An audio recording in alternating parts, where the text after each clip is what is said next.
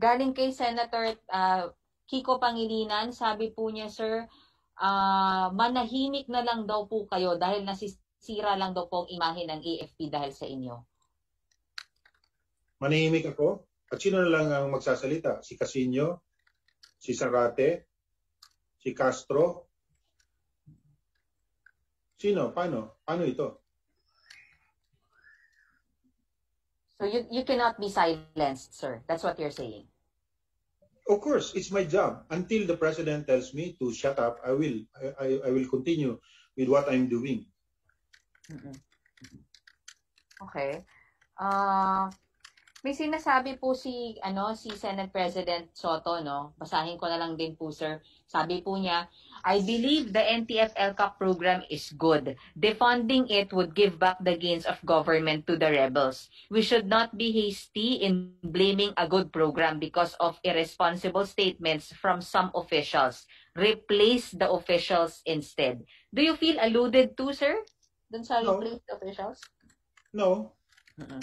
No. Kasi kung ako yun, dapat sinabi na, no, wala namang problema yan kay, kay Senate President Soto. Kung, kung palagay nila mali yung, ah, yung ginagawa ko, sabihin nila personally, Senator Ping, Lacson, o kung sino man, sabihin nila na ako yun. And then, uh, uh, let's let's ask the authorities to to do what they want to do with me. Mm-mm. Mm-mm. Um, si si Senator Rizon Tiveros po, katatapos lang siya ma-interview ng media kanina. Sabi niya, sir, ang mas mainam daw gawin, buwagin na lang yung buong NTF LCAC. How's that, sir? Sige, kung yan ang kagustuhan nila, patingnan na lang natin bakit. Ang tanong kasi dyan ng taong bayan later on, bakit bubuwagin yung NTF LCAP? Remember, it's ending local communist armed conflict. Are we saying then that we should continue with this insurgency? We should continue with this violence? Mm-mm. So, is that what they're saying? Dahil sa statements, okay, sabihin na natin na irresponsible yung statements uh, uh, ng, ng NTF LCAP o, ng, o, o statement ko, okay, bakit natin uh, uh, bakit natin idadama yung buong NTF LCAP uh, program? Mm-mm. And you're willing to step down, sir, kung sakasakaling gano'n nga? Tingin nyo kayo lang naman yung, kung, kung totoo po kayo ang problema, sir?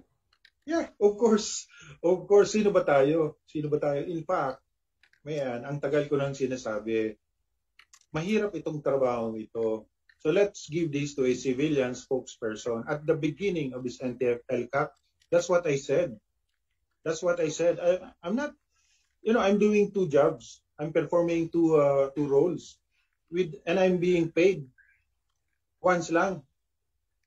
Ano lang naman, AFP lang naman ang nagpapasweldo sa sa akin. But but uh, sabi nga nila, no, you stay there because you know uh, you know what you're doing. We need your experience.